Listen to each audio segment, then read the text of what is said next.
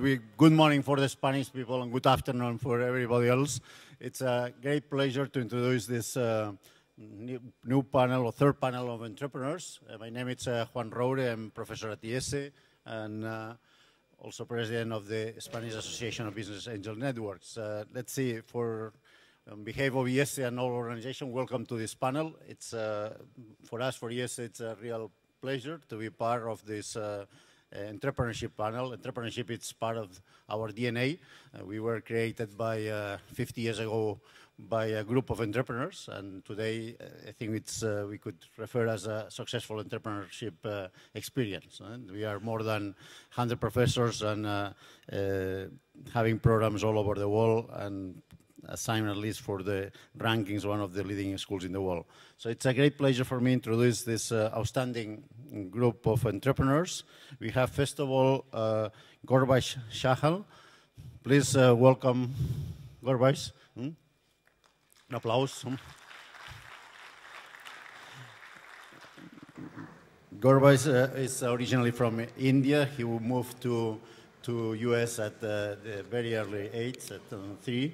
Uh, was 16 when he created his first company, 18 when he sold the first one, 30 million, and uh, he created the second one, doing a very good job, and sold it for uh, uh, 300, which is not too bad. And he's in the third company and hoping to get into 1 million. So welcome, and thank you very much for joining us from uh, San Francisco. Hmm? Uh, we have a second speaker, Luis Font. Luis Font is uh, an entrepreneur from, uh, from Spain. Welcome, Luis. Please, an applause to Luis. Who was that? Luis started his first company 20 years ago. Unfortunately, it was a Chapter 11, but from there he learned a lot. And now he's uh, with uh, NTR. It's been already eight years in this company, going through the third round, very successful company. So then we have two, uh, mm, two entrepreneurs that you know pretty well. Welcome Dave McClure, that has been just a moment ago in the, in the panel. Dave, welcome. He's been previously introduced. So also Dennis uh, Crowley, please uh, welcome Dennis. So here we are. Which one is it? Then Andre Vanyi, uh, he's uh, in, also is in her third company. It's been already five years old in this company. He had two, two bankruptcies before, so we are, today we have a great opportunity to learn from success, but also from failure. So welcome, uh, Andre. Hmm? And, and finally, uh, Marcos Cuevas. Hmm? He's in his uh, second company. Welcome. And he, and in this case, Marcos uh, didn't need uh, funding, so he's been self-funding and, and also doing very well. So finally, let's see, we have, uh, the moderator will be Bernard Harnish. Verne, it's, uh, so welcome, Verne. Hmm? I would define Verne as an entrepreneur of entrepreneurs. Verne was created uh, EO, the entrepreneurship, entrepreneurs organization. Is all around the world, having a wonderful job of uh, promoting entrepreneurship and on top, he's the promoter of also Gazelle. He's a publisher also in, uh, has a great book that I recommend you, and also a journalist. Uh, he made contributions to Fortune. So Verne, thank you very much, and I would like to third, thank especially Verne because he's doing a great job in also promoting Barcelona as a hub for entrepreneurship. So welcome, Verne. You got it. Let's give Juan a hand. Juan, thank you so much. Good. Well, I, thank you. You're welcome. Hey, I want to welcome everybody to the entrepreneur session. Now, you had a chance to hear from both Dave and Dennis already, and so they've got to do some double time here with us uh, this afternoon. And we wanted to provide just a little bit of structure to how we're going to kind of discuss what it's taken for them to launch and build these ventures. And we've always maintained that there are four basic decisions that the entrepreneur has to get right. Uh, these decisions are around people uh, strategy, execution, and obviously cash. And so we're going to structure our conversations around those four areas. But before we do, I thought it was interesting. Dennis, I don't want to let you off the hook since we just uh, heard from you. I know we were discussing before the world seems to have changed a little bit. And obviously, entrepreneurs have to go with what are the kind of global trends that are happening. And last decade seemed to be about stuff, you know, and you searched for stuff, and the search engines was kind of their decade. This decade seems to be about people. And I think it was interesting, Hitwise, as we were discussing, pointed out just last month that the visitors to the social sites have now surpassed the visitors to the search engines. Um, and, and I even noticed it seemed like the word happiness seemed to be like the word for this year. I know Tony Hsieh, who CEO of Zappos, just came out with his book last week, Delivering Happiness. Uh, Ted Leonsis, who did Money Revolution and uh, vice chairman of AOL, had his book in January about the business of happiness. Um, and, and last, there was a study that said that the key to happiness was three things sex, and lots of it, uh, number two, socializing after work. And then number three, having dinner with your friends, which is one of the reasons why I love Barcelona, at least for two of those three.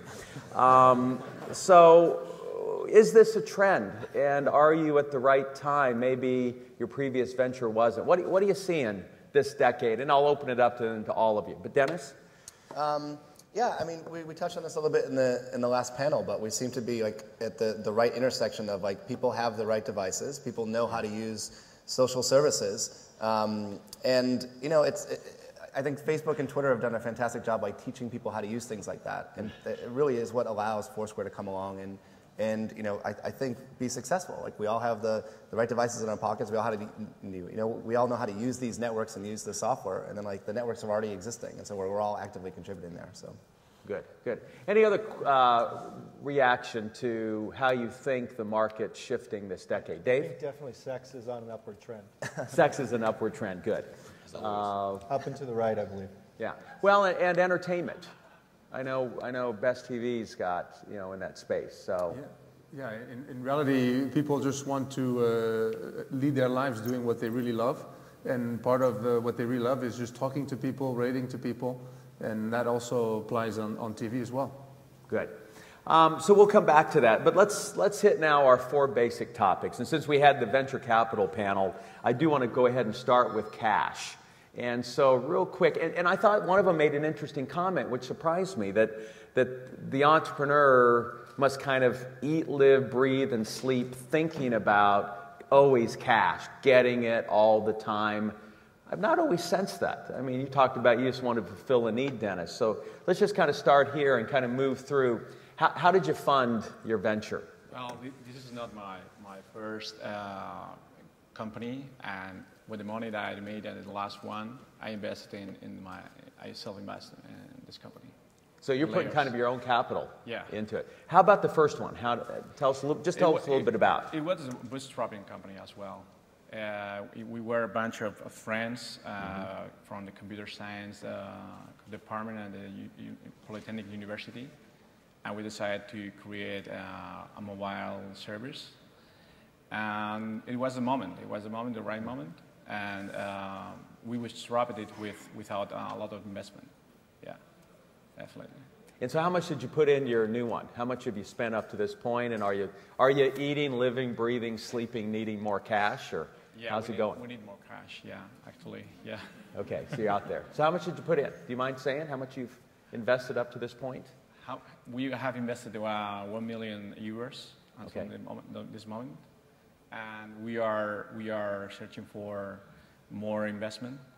And but we here in, in Europe or in Spain we had one thing probably uh, it's not in the United States that is uh, the grants from the government where the government the Spanish government helps to the companies. Okay. Uh, it's like free money or or that so so we have that kind of deals and, and we had money for the next months. But yes, we had to start monetizing the service uh, from our customers, and we need to probably need to, more money for in the future. Got it. So that million euros, how much was your? Have you already gotten some of these funds half, from the government? Half of that, yeah. Half of it. So you yeah. kind of put up half. Yeah. You've got the other half. Yeah. And that's gotten you up to how many employees now? Twelve. Twelve. Very good. Dave, you've you've done this many many times, and you're now funding companies. Um, do you see the entrepreneurs that's their sole focus is needing and raising money throughout the process? And what did you, how much did you raise when you launched? Um, so actually, I, I, did a business back in the mid 90s that was mostly consulting business, and I uh, was probably not very experienced at raising capital. I had one opportunity to do so, and I, I didn't. I don't know if that was a mistake, but it was mostly bootstrapped off credit cards and uh, many different uh, financial engineering mechanisms, some of which weren't too smart. Um, but I think but, the story. But I, I, wouldn't say that. I mean, I, I've got a friend who has like 33 credit cards that she's embossed in a piece of you yeah. know plastic as a reminder. So that I seemed had, to be the way you did it pre-bubble. 11 credit cards, 110,000 in personal debt, yeah. another 150,000 in you know debt based on the lease for our office and equipment, and yeah, it kept me up a lot at night. Um, I think so. One of the benefits of um, these days, at least for internet startups, is uh, actually the first you know, let's say six to 12 months actually isn't maybe that, that hard. There's not a lot of hard costs in building internet startups uh, compared to maybe five or 10 years ago when you were spending a lot of money on maybe servers and database licenses and, you know, bandwidth. So mostly you're just paying for headcount costs and it's, it's actually not that hard to maybe bootstrap yourself or one or two other people for, you know, six months. That's, okay. that's doable for a lot of folks. But I think the real gap is once you get beyond sort of 25 to 50,000 in either savings or sweat equity, then there's a real gap maybe sometimes between you know the 50,000 to 500,000 you might need before you know traditional venture capital gets involved. Right. And in Silicon Valley and maybe now in New York and a few places, you know there's lots of angel investors that help fill that gap, but in most places in the world there's not. Even where there are traditional venture capital, that 50,000 to 500,000 dollar gap that's really the biggest challenge for a lot of startups getting off the ground. Yeah. I know Juan is part of having launched the Business Angel Network in Spain, yeah. which has been one of the more active. Which and I think that's why a lot of you, you're seeing a lot of incubators that are starting to come in and help fill that gap. Although I think that's really even past the incubator stage a little bit. Got it. Good. Okay. Well, uh, raising funds for for me is a tremendous waste of time when you are focusing a business. Yeah. So, and the first time that you, you take a look at the Venture Capital shareholder agreement, you see, oh my God, this is a robbery. They are going to steal my soul, my heart, and my company. Yeah. Say, wow. But, but, that's a small price to pay as long as you can get somebody. Yeah, right, right, this right, is the point. So, well, I raised uh, 2 million, 4 million, and 22 million euros so in the, in the last round. So it's a good thing. But keep in mind that the first time as an entrepreneur, uh this is for the young entrepreneurs, that you take a look at the venture capital shareholder agreement, you say, wow, I will not sign this. Then, okay, you take a chill pill, you think about it, and then you sign. But it's a, it's a tremendous waste of time, but you have to do it. You have to allocate certain factor to your time, maybe 20% of your time in the next five years in order to raise funds. And it's even more difficult if you are in Europe, because you're in Silicon Valley, you drive 30 miles and you have a lot of people available. But here in Europe, Okay, in certain parts, maybe you, got, you can go to London, to the Mayfair area, and you are going to find, a, find a lot of venture capital. But if not, it's Munich. If not, it's Paris. So you have to travel a lot in order to raise funds uh, across Europe. But what, how much did you um, put in, though, uh, initially, before you were able to raise the venture capital? Or did you get it day one, just off of your idea? No, at the beginning, we, we have friends, rules, and family. And uh, the first venture capital investment was around 2 million. Before of that, we raised uh, 1 million or so. But keep in mind that the first two years of the company, we didn't sell a dime. So we, we really need the cash. Got it. So it was, it was that kind of initial money just from your friends and, yeah. and some of your own wallet? It was a family office. Okay. They were very kind. So this is the kind of venture, venture angel. Hmm? Okay.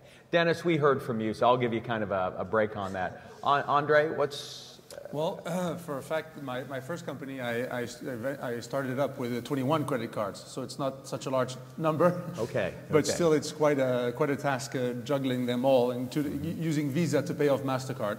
But um, uh, yeah. clearly, the, my third uh, and, and, successful company five years ago uh, actually started it when I went bankrupt.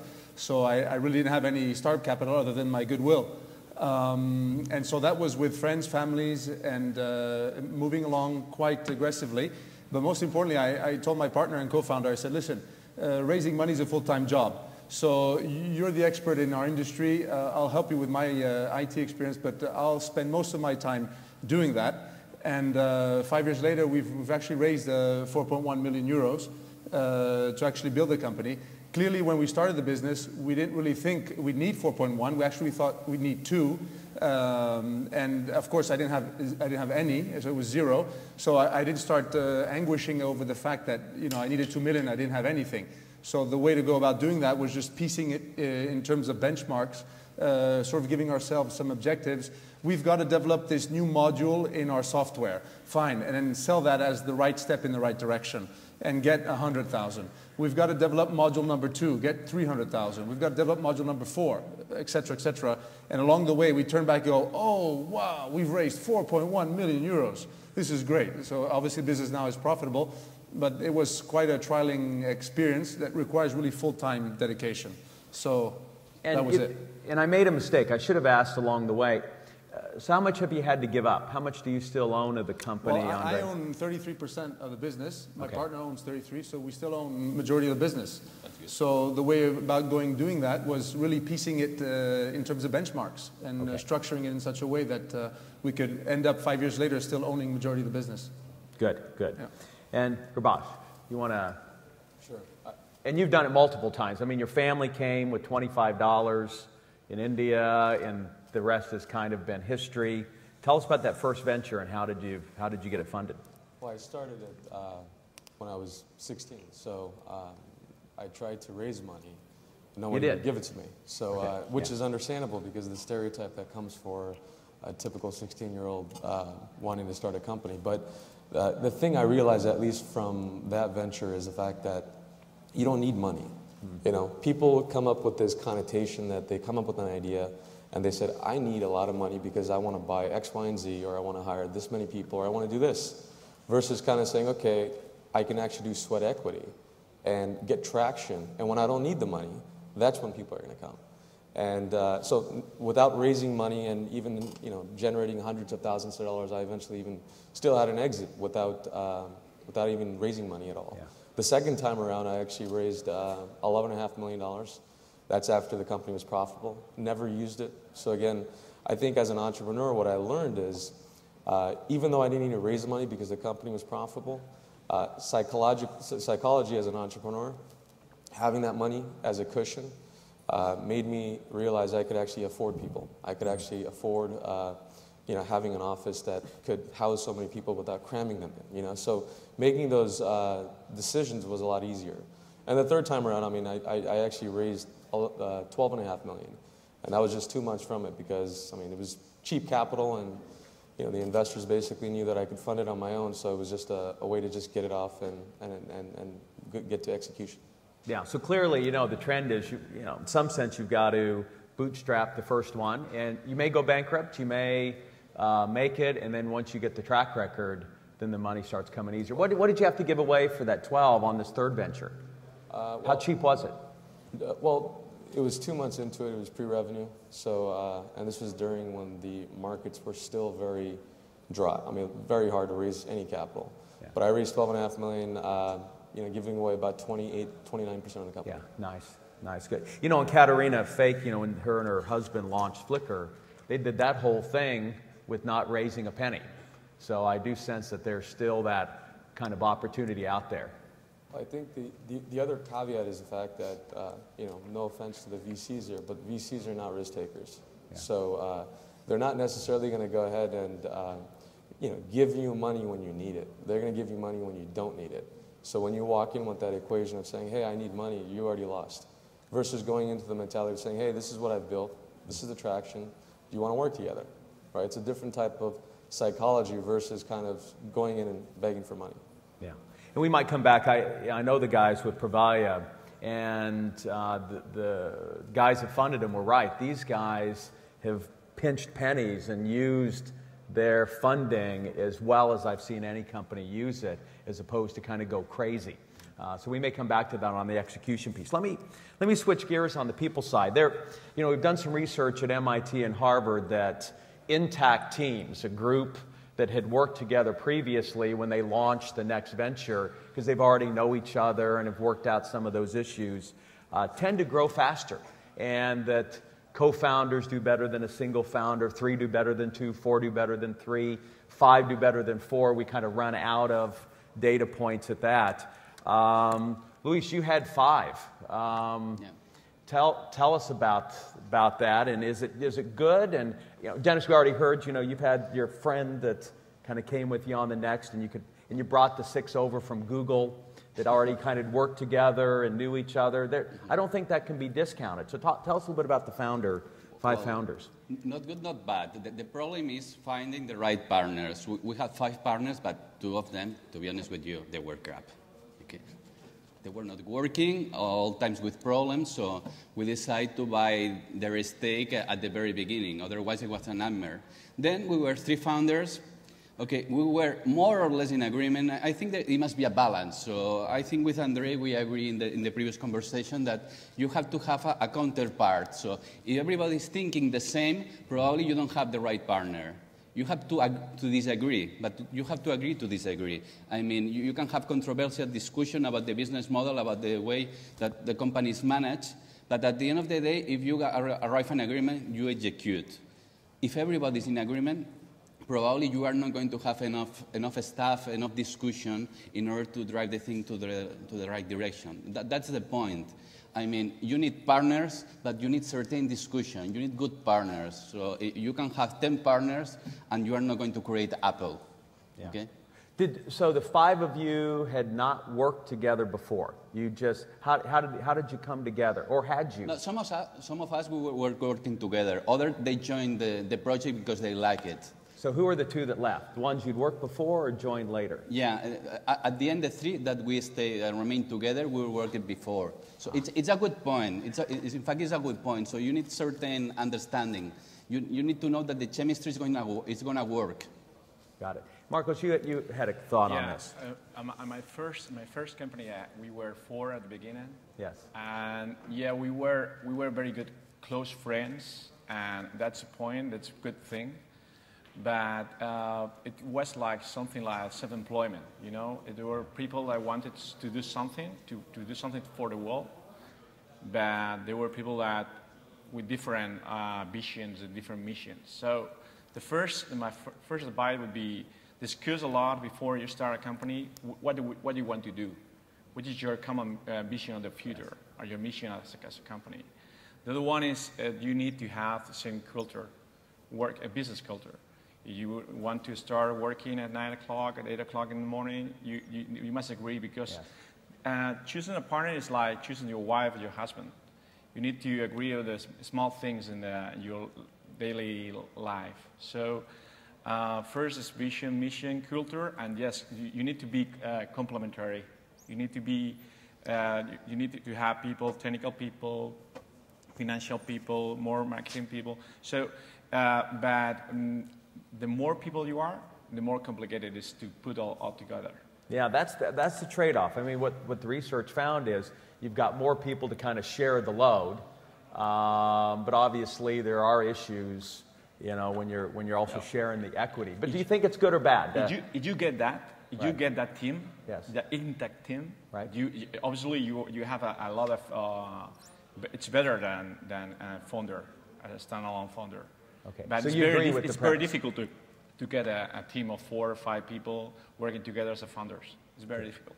Dave, you funded a lot of companies. What, what, have, what have you seen? Is there, is, you're speaking to entrepreneurs, is it, is it the lone entrepreneur building a team, or what's, do you have any preference? It's, it's usually not a single entrepreneur, although that happens occasionally. Uh, it's sort of a litmus test for entrepreneurs is they have to be able to convince at least one other person that they're not completely crazy. Yeah. Uh, so a lot of times just having two people helps to you know, de-risk that issue a little bit. Yeah, I bet. Uh, but I don't know that it says so much about the number of people. It is like the roles and the skills. Uh, so at least for a lot of stuff that I'm investing in, it's a lot of consumer internet and small business. Yes. Uh, and I've really started to emphasize the need for uh, design and user experience or some type of front end uh, developer in addition to the traditional programming, you know, back-end database person that's going, uh, that's, you know, writing code. Because I, I think a lot of the, you know, experience we have on the web these days is very visual, it's very emotional, very psychological. It's not always about the code and the features. It's a lot of times about the you know, way image and text and other things are put on the page. Um, and then in addition, I think having someone, I, I don't want to say it's a marketing role because it's not at all a traditional marketing role, but understanding scalable distribution strategies based on search engines and social platforms and other online methods. Um, so for me, I like to see that there is a strong engineering team. You know, usually more than one is helpful. Yeah. Um, and having some type of design or customer-focused uh, interaction, you know, is also pretty important. And then it doesn't have to be early, but I want to see that they have a way to sort of go after and get distribution. Those, those three roles, I think, are really important to sort of have at least within the first three to five employees. Yeah, makes sense. Uh, Gurbaksh had some, some strong thoughts on this when we were talking backstage on. Did you bring members from the other previous companies with you what? and that it was helpful or? Yeah, I mean, I, I think there's a, there's a big difference between, I guess, co-founder and founding employees and I've ah, had okay. experience with the latter rather than the former. And okay. uh, the thing that I've realized is that the first five employees you hire are kind of like your dream team. Mm-hmm. So you got to get that right because if you don't get that right, those first five employees will judge whether or not you even have a business or not. Okay. So you pick the wrong person, doesn't execute correctly, you're probably not going to be in business. Then the, I think the next quantum leap is the first 20 employees because you hire the right first 20 employees that are out there to win and, and grow that'll you know either tell you whether you're going to have a, a, big company or not. You know, so you want to instill that same DNA that you have in that first five into the next 15. Because if you get the first 20 right, then that's the company culture. That's what's going to be the driving force for the next you know tw- uh, you know 20 employees and so forth. Any you know, it sounds easy. You know, just get the first five right and the next 15. Any any specific hint any of you have or trick you've learned? Uh, weed out who you want to bring in besides passing the breath test because they, you know, they're breathing and willing to work for free? What's make decisions to fire quickly. So you bring them on, but yeah. I mean, I think it's great, it to, it's great to say that, hey, be really careful about hiring, be like really, you right, know, right, right. but you're going to fuck that up at least once, probably more than once. Okay. And typically, the worst mistake I've made is not hiring the wrong person, but keeping the wrong person on longer than three months.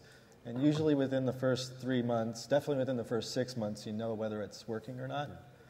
Uh, and well, and by the way, in Europe, you know, some countries you have yeah, three so months. I'm, I'm less familiar with what months. the issues are here. That probably makes it even more challenging. But I would say consult to hire uh, for the first three months if you can do that. Okay. Uh, makes a big difference. Good. Anyone else have like the, the key tip to picking the right people? I absolutely agree. So if you make a mistake hiring someone, you have to correct fast. Or otherwise, you are going to have a, a partner or an employee that you don't want for, for a long time, and it's going to be worse. I agree, absolutely agree with you on that. Good. But I don't, I don't want to let you off the hook, Gurbaksh. So what, yeah. how, how, how did you find this Get Dream Team?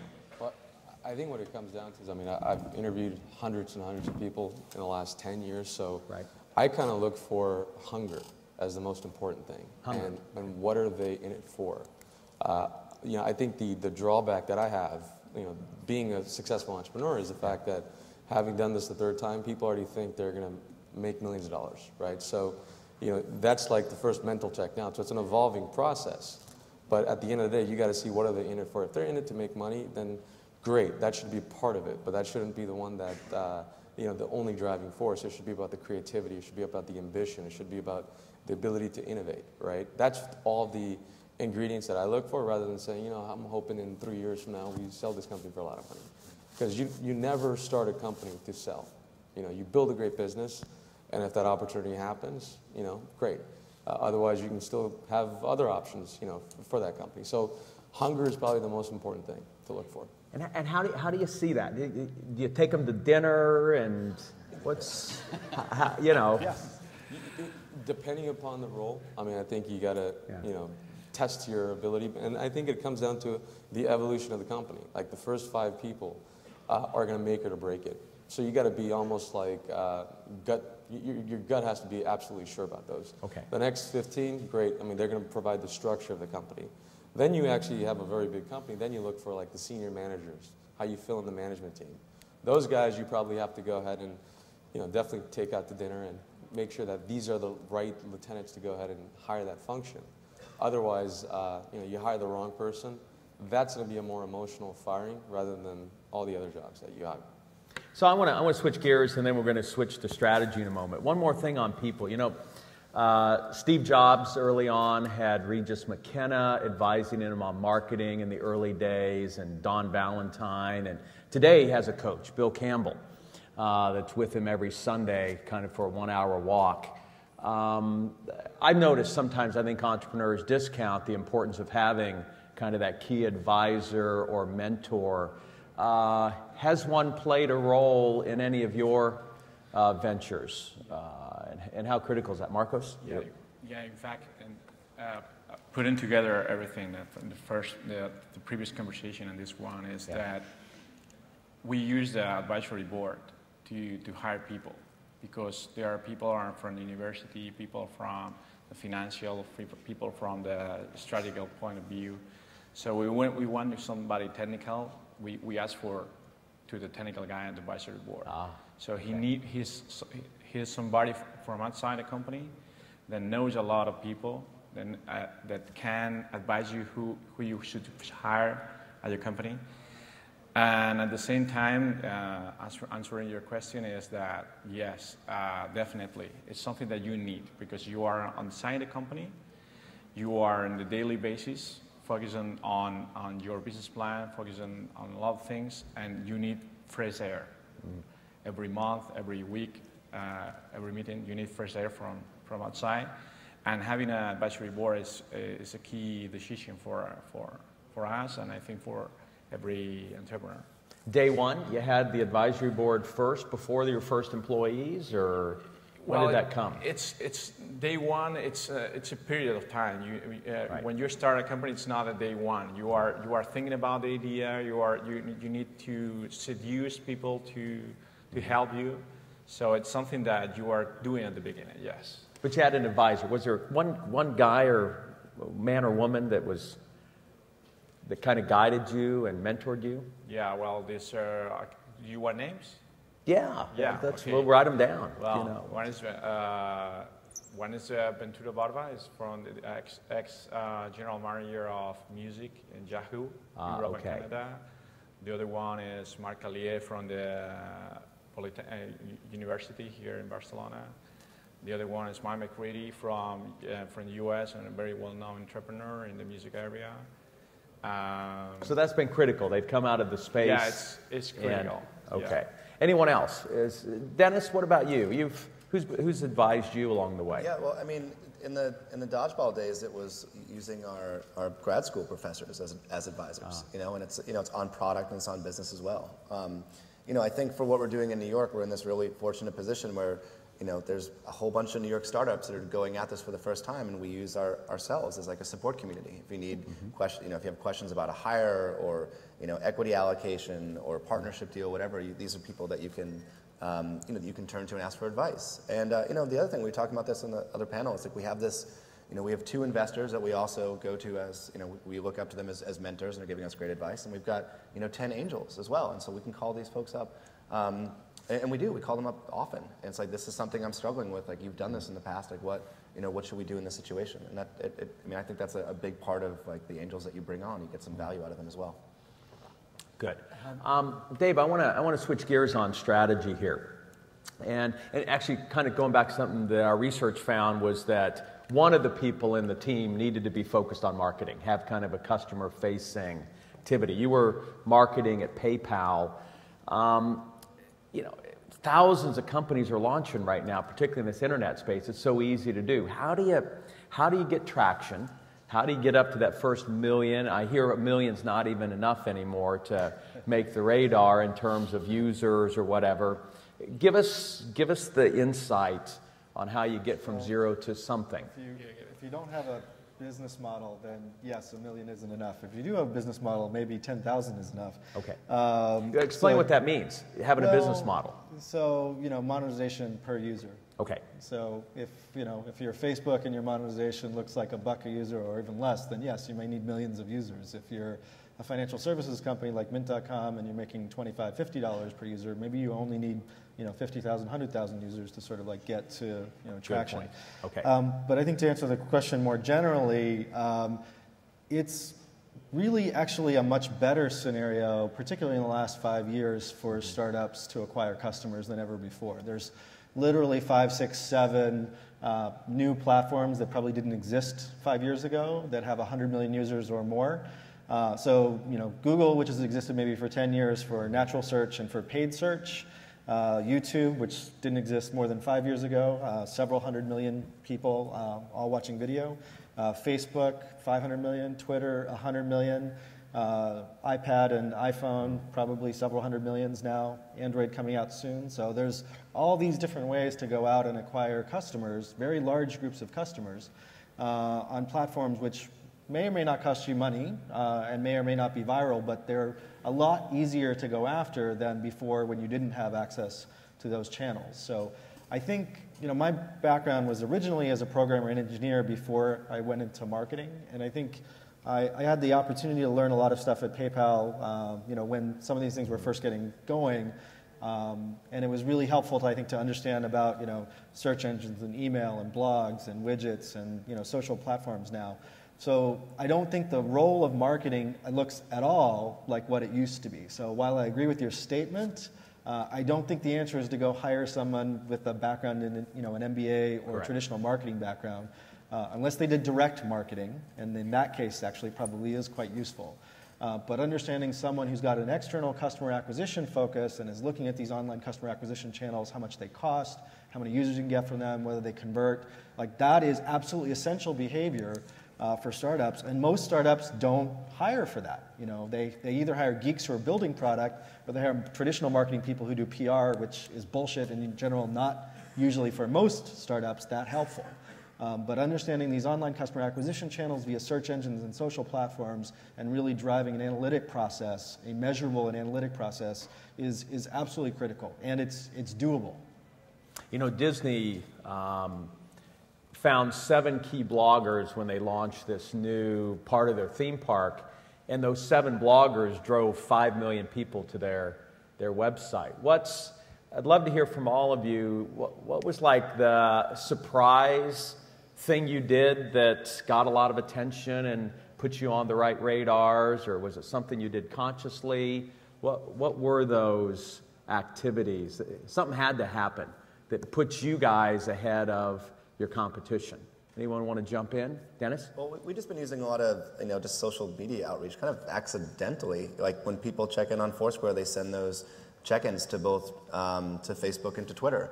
And I think in a lot of instances, it's, it's useful enough or it's intriguing enough for people to see those and then send them around or sign up on their own. So it's like piggybacking on the success of other social networks to get, to get our message out. But I know you, I, I, I'm not going to let you off the hook a little bit. You know, the, the backs, you know, stroke contest you do at, you know, South by Southwest. Uh, we've covered you at CNN. Yeah, I uh, think you get a lot of publicity. And yeah, but it's not, it's not or? intentional, right? So I think this goes back to the bullshit. really. oh, come on! It, it, you know, this goes back to what you're talking about with, with hiring, right? So Yeah. when we bring people in, we, we only hire people that are passionate about the product, and mm-hmm. like don't just tell us how passionate you are. Like we'll go in the database and see how often you're using it and see if you're telling us the truth or not. Okay. We want people that think the product's awful, and we want people to have interesting ideas about it and, and that want to improve it, whether they're engineering or interns or whatever they happen to be. Um, and you know, I think that's fostered. Like we're at 20. It's really fascinating to listen to you talk about like what happens at different stages of the company. We're at this 25 person point, and I think we've got that solid, you know, 20 people so far that are really like setting the culture of the company. And the culture of the company seems to be, you know, around people going out and doing interesting things and having a good time. And Okay. that tends to generate press for us if we're going and doing, you know, interesting things in Austin or throwing parties in New York. And, Yeah. you know, I think our, our users are getting behind that too. And so the company of the culture is extending back out to the, com- the, you know, the culture of the users as well. And the users are then turning into the, like the sales folks in such a way that like they're evangelists for the product. Like look at the meetups that's going on here. That's not something that we planned. People are just getting together to, to talk Foursquare. Like we love that stuff. Good. But you'll be there. You're going to be there tonight, and you'll make something happen. Well, I just heard about it today, so yeah, I'll, I'll be there. Yeah, we'll make I we'll make some fun happen.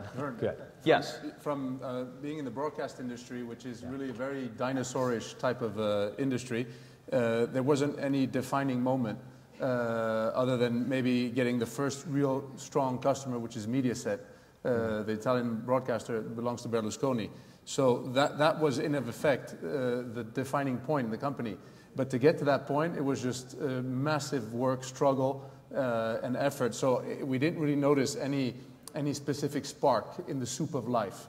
Uh, of the business. It was just it just came about, and, and that's how, from the classic business perspective, um, we sort of evolved. That's on the one defining moment question you you've you've you've asked. But you but you got the big one then. But we got the big fish. Yeah. It's a little bit like Starbucks. Put you guys on the map, Dennis. Yeah, sure. In a way.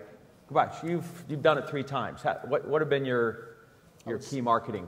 I would say, uh, I mean, see, I I operate in a much different business model than some of the other guys there. Right. I'm more in a supply and demand business. Yes. So it's connecting and having a platform. So my customer is like Microsoft. So it's like talking to that big fish rather than talking to a consumer. And you know, while you're talking to consumers, it's kind of behind the scenes. So I, I, when it's those type of business models, I think what I've realized is that you have to have a strategy, you have to execute on it, and then after you've shown some traction, then you gotta have to make a big statement, as long as you're willing to back it up. And I would say the big defining moment for Blue Lithium was, uh, you know, we got recognized as a disruptor, an innovator in the space by Business 2.0. Mm.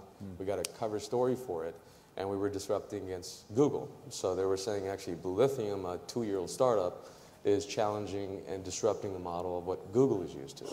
And again, the average person would probably look at them and say, why, why in the world would you piss off Google? Well, why would you say you're trying to go ahead and beat them at something, right? Versus kind of having a strategy, executing against it, having a lot of traction for it, making that big statement and being able to back it up, then you got all these, all these other companies wondering, hey, maybe these guys are actually doing something right. Let's take a look at them. Now, did you set that article up? How, how did that article come about? Because that, those, I mean, we'd all die to have one of those and have the media. How'd you do it? I, I would say PR has been a lot easier the third time around, but the first time around, I mean, I would write my own press releases and nobody would even pick them up, right? So it was like, you know, you're, you're a nobody. The second time around, you know, we were basically trying to, we had a PR firm, we were, they were trying to line up meetings, and it just happened to be a, uh, a quick meetup with the writer. And, uh, you know, hey, let's talk about the company. And it, it's, it's, it's kind of like that spark. They were looking at, uh, you know, innovative companies. We happened to fit the bill, and it was a surprise to us. So a lot of that stuff that makes the biggest impact PR wise happens organically. You can never plan for it. Whenever you plan for it, then it's kind of not true because it's not real, you know, journalism. Okay, got it. Anyone else have a marketing tip that worked? You've seen a lot of them. For a lot of uh, marketing these, I mean, there are certainly PR firms that are worth the money, but in general, uh, at least if you're going after consumer or small business targets, I think there's plenty of channels where you can spend money more effectively. And if you're going to do if you're going to hire PR, I would just hire an independent PR professional to come in-house. I think it's a lot, you know, less expensive, and you probably get more time and experience.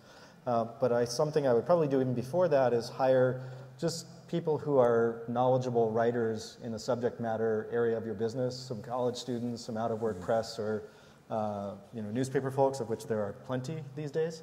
Um, and just get someone to write on your blog about what the customer and product experience is on a daily basis. And that'll build, you know, a group of articles that traditional reporters and press can then actually refer to and find on Google and, you know, maybe even have a social platform strategy where you're tweeting some of that stuff out. But just like doing a regular, you know, writing something about your customer or product experience on a daily basis and focusing on the keywords that your customers uh, might be likely to search on and using those in the article headline and title is building a body of work can, can quickly be done in three months to six months' time with very inexpensive spend. Yeah, I, I, I want to build on that. Uh, you know, I've been big fans of David Meerman Scott. You know, David wrote the new rules of marketing and PR, and and I just heard him. He, we hosted him for one of our audiences, and I thought he made one of the best points. He said, if if you want to hire somebody in marketing, don't hire anybody from marketing, but hire a journalist. You know, right now they are inexpensive because of what's happened to traditional media, Andre, to your point, and because you are what you publish on the web, and just get them cranking the YouTube videos, the blogs, and the stuff. And then Brian Halligan from HubSpot added to it. And I think his book, Inbound Marketing, by the way, is, I think, one of the best books written in terms of how to on doing this. But Brian had mentioned, I mean, he set us down and, and said, I want you to write four headlines that got to be 10 words or less because Google truncates you know, on the 11th, get your couple of keywords in there and write it so people want to hit it. And, and is that is that too much planning? Is that no, is that being? I, I, think people are really into writing a lot about social platforms and Twitter and Facebook, but they underestimate right. the importance of Google and search engines. Right. Um, and you know, understanding the top 20 to 50 keywords in your market or product or problem space or customer space, and just dominating the hell out of those keywords. You know, in content and articles and search, and you can also use those on your copy for your website and in yeah. emails. But really understanding the volume of keyword activity around those keywords and which are the actual keywords that are being used uh, is really essential research. And again, wouldn't underestimate the importance of SEO, search engine optimization, you know, uh, in getting the initial product offering off the ground, understanding what customers are talking about. Yeah, even in B2B. I mean, back to your point, I saw some statistics 76% of all purchasing decisions start by uh, someone checking you out at on Google. I mean, Googling you, and yeah. if you're not showing up, it's you're really not there. Let's. Um, we got 15 minutes left. I want to. I want to switch to execution, and uh, one of them. Uh, you know, what I've found in Europe, it's it's kind of crazy, is that the tech companies here have like two week, six week development cycles. And you know, many of you guys are working the 24-hour development cycle. Marcos, you well, and a couple of you reacted, man, I'd love to learn how yeah, to do a 24-hour development. That's the objective. What, what we are, we are, we are uh, using the GIT as a, as a, as a technology for, for all the developers to, uh, to put everything together and to, can, to be able to upload that to our service. And the, well, we, we are an advantage. We have an advantage that we have an alpha version of our service uh, working. So uh, the people that are testing our, our software right now, our service, are the people that are using it. So we don't have to be sure that we, we have done the right testing because people are doing it for us. So in that, in, in, in this way, with this simplicity from, uh, from the, our um, ecosystem of users, uh, we are, they are helping us to evolve our, our service very, very fast. We do uh, everyday meetings. We upload uh, the new version of the service to, uh, to, to the production. So it's, it's uh, the fast way, fastest way to, to make evolve your service. So you're on, you're, you're the 24 hour development and you're relying on the customers. Maybe some days it's 40 or 40 or 40. of course. eight hours, but yeah, yeah. We, we, are, we are in that. That's the objective we have. Yeah. So, so clearly you have to move fast in all these markets right now. What are, what are the things you've learned just operationally to move fast? I think uh, when it comes to execution, yeah. all of it is determined with hiring, right? So it's that hiring and that's the people that you hire because they're the ones that are actually going to be executing when, when you're not, right? Mm-hmm. And one of the things that I've realized is like even like my, my current company, whenever I hire someone, uh, it's great to see kind of the work ethic evolve. Like, you know, I send an email at 10 p.m. Generally, it could wait, but somebody else replies back, you know, at 10.01.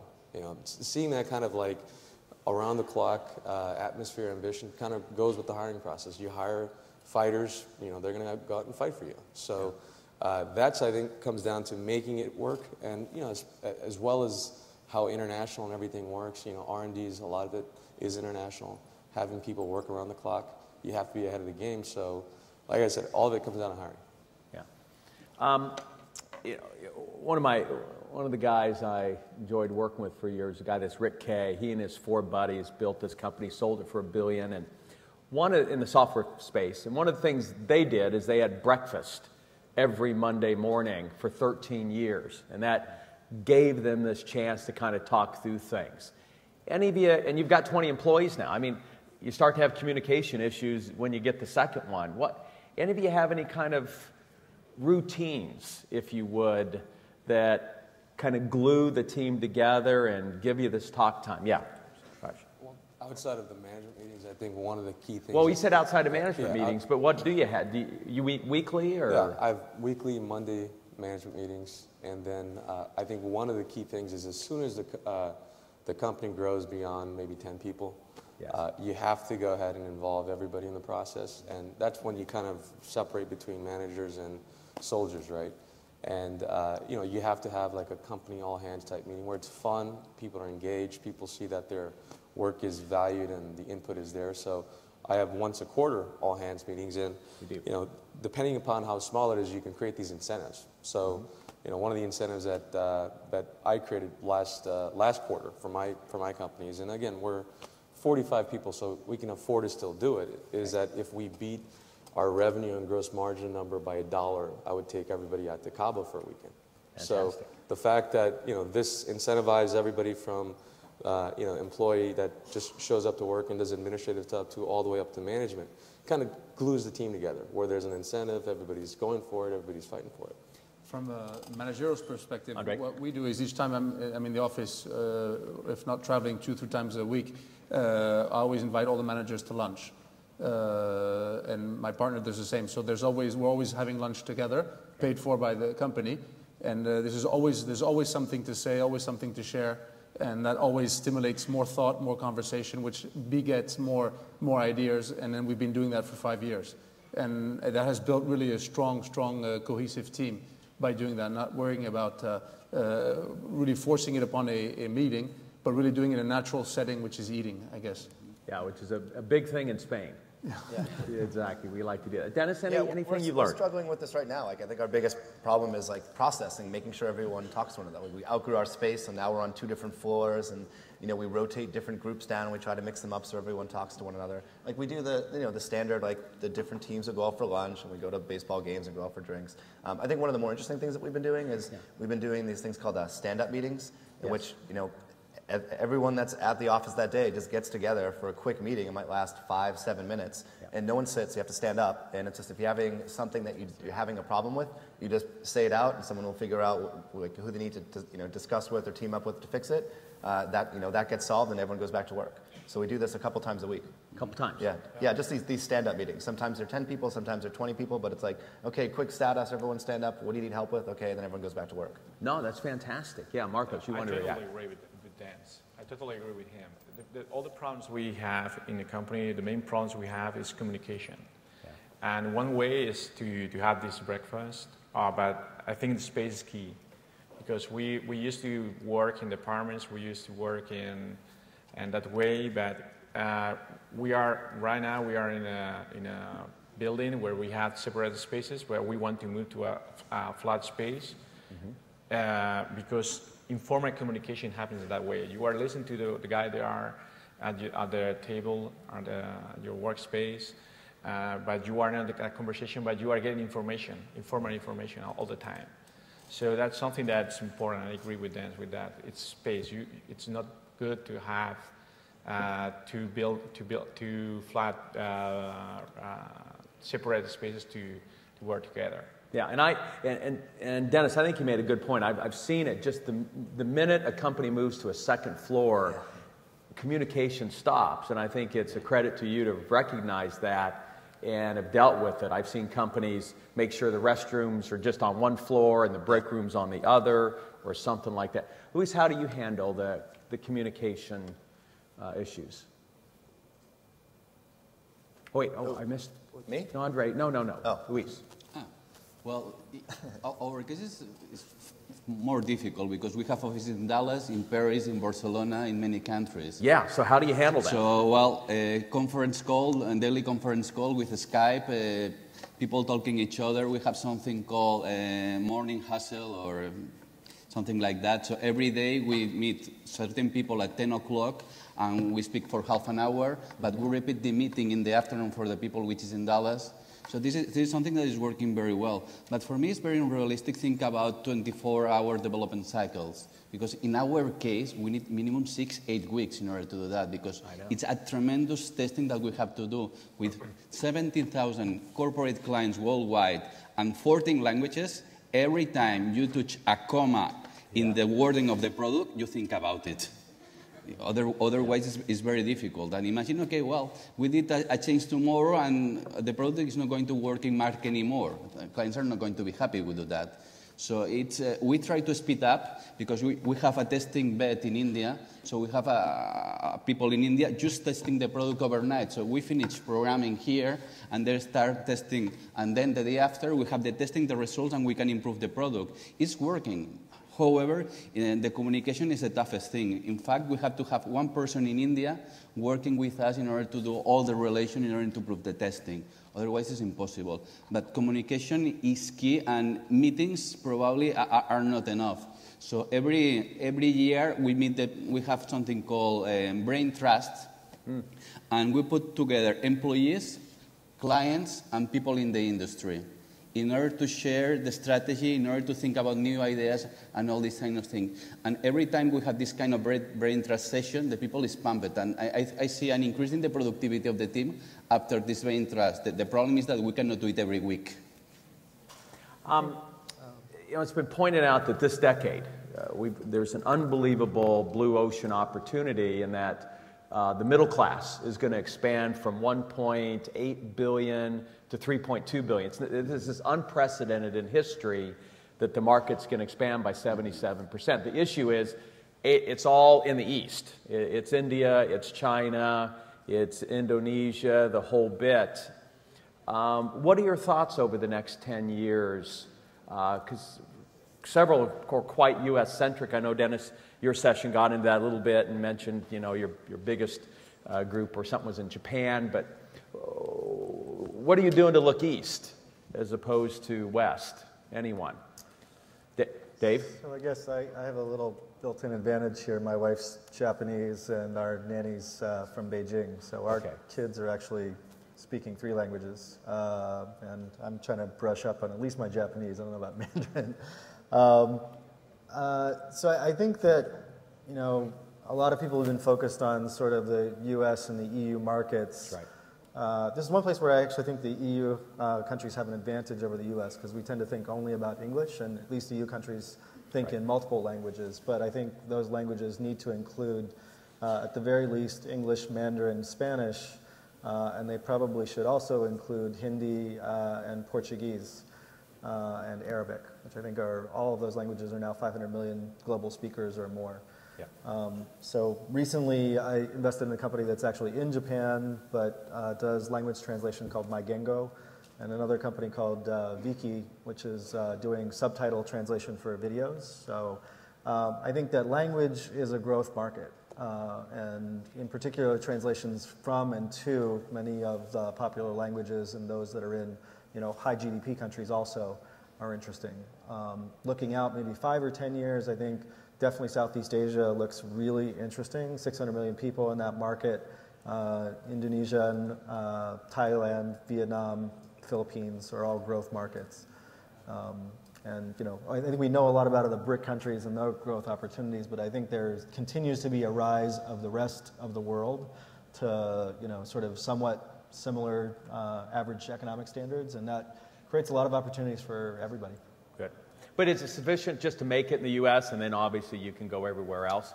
Uh, I was actually in India a few weeks ago, and I hadn't gone in like 10 years, and what I saw was like there's so many, I mean, the, the middle class boom actually affected the most uh, industries that everybody needs to live. So, uh, you know, the, some of the biggest billionaires are the guys that are the CEOs of the mobile companies, right?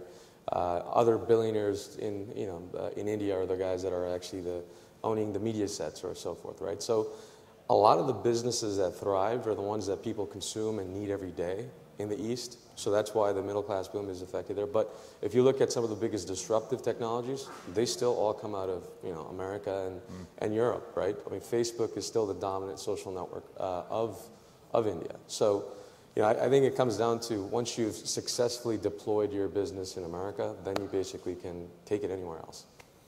From, okay. From our perspective, we're, we're, focusing on territory that's more familiar, like Brazil uh, and Latin America, uh, where also the middle class, as you've alluded to, is, is exploding. And so it makes it easier for us to actually work down there and, and, and bridge the, what, what little cultural differences you can find from a strategic point of view. Perhaps in five years further down the road, we would expand more in Asia, but we still have a lot of work to do uh, with, uh, with Latin America. Got it. And I, I do want to put a plug in for Barcelona, as Juan had mentioned. I, one of the main reasons I moved here from the States is just geo um, location wise. It's crazy. This is exactly the right time zone to be in to both travel and do business globally. Uh, I can be on with Asia in the morning at a reasonable time, 8 o'clock, 9 o'clock. I was on even with Australia this morning. Uh, and then in late afternoon, early evening, you're on with uh, the West. Uh, then when I was in the US, it was so hard for me to communicate with India and Japan and all those others. So just a plug for you guys, not in, not in this part of the world. Uh, come to Barcelona. We, we would love to, we'd love to have you. Um, you bet and it is the nicest city in all of Europe. So um, we've got about a minute left. Let me, let me let's just do a quick lightning round. We'll start here and finish out. So, what's your last thought relative to this whole entrepreneurship run that you'd leave with the audience? Yeah.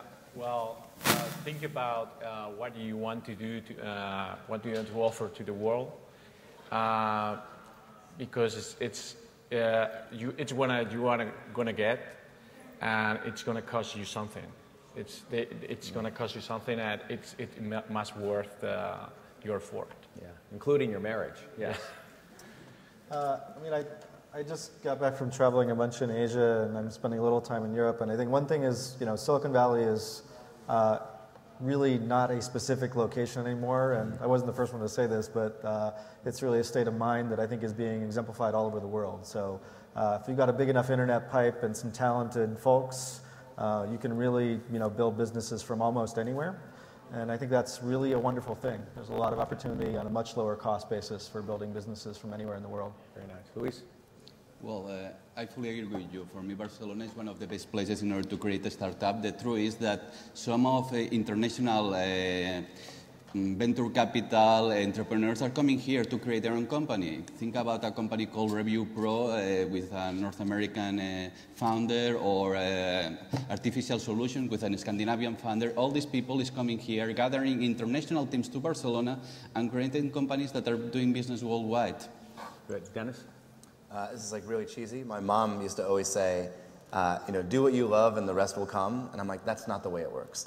Um, but, you know, from you know, I was lucky enough like 10 years ago to find the stuff that I really enjoy building, which is the stuff that interacts with the real, the real world. And I've been chipping away at it for 10 years. And we haven't made it yet, but like it's fun to work on and I enjoy going to work every day. And it's, you know, we're, we're getting to that point where just do the stuff that you really enjoy doing. Good. Andre? I, uh, I never held a job uh, and I became an entrepreneur 17 years ago because I really wanted to lead my life doing what I really loved. And, uh, and if that meant actually earning a living doing what I love, then I thought it would be worth a life living. So that, that's, that's for me entrepreneurship. I guess for me, uh, surround yourself around the smartest people and try to actually hire people that are even smarter than you because people make or break a company. So if you surround the right people, you'll have a very successful company. Good. If you would, give a huge warm thank you to this panel. You guys, thank you so much.